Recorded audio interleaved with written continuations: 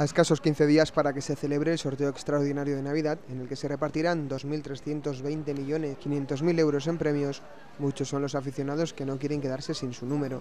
La administración número 2 de Aranda, Lotería Maite, genera largas colas de jugadores que, además de participar en los sorteos y apuestas habituales, compran sus números para el día 22, incluso para el sorteo del niño de enero, por lo que las ventas no se han visto demasiado afectadas este año, en el que volverán a tentar a la suerte. En Navidad ahora mismo bastante bien este año. Eh, la diferencia, pues el niño todavía no ha empezado, por decir así, la campaña, se empieza a notar, pero vamos, ahora mismo lo que la campaña fuerte es Navidad y bueno, pues si no va mal, van bastante bien. Notarse se nota, porque cuando no puedes gastar mucho tienes que, recortar de todos los sitios, eso es lógico. Lo que pasa es que, bueno, siempre se, se quiere tentar un poco a, la suerte y es una de las formas de intentarlo, lógicamente. Los acontecimientos claves del año son un motivo siempre recurrente a la hora de seleccionar los números de la Lotería de Navidad, como la fecha de la histórica victoria de la selección española de fútbol en el Mundial de Sudáfrica, el 11-7-10, que ya está agotado.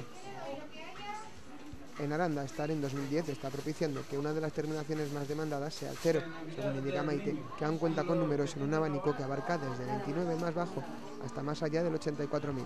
Está viendo una...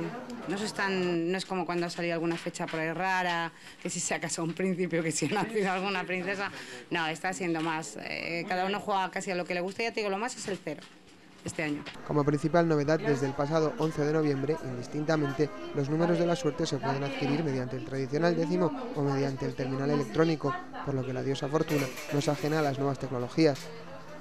Las voces de los niños de San Ildefonso darán más de una alegría a un perfil de jugadores de lo más variopinto en uno de los sorteos más populares de nuestro país, que se remonta al 18 de diciembre de 1812.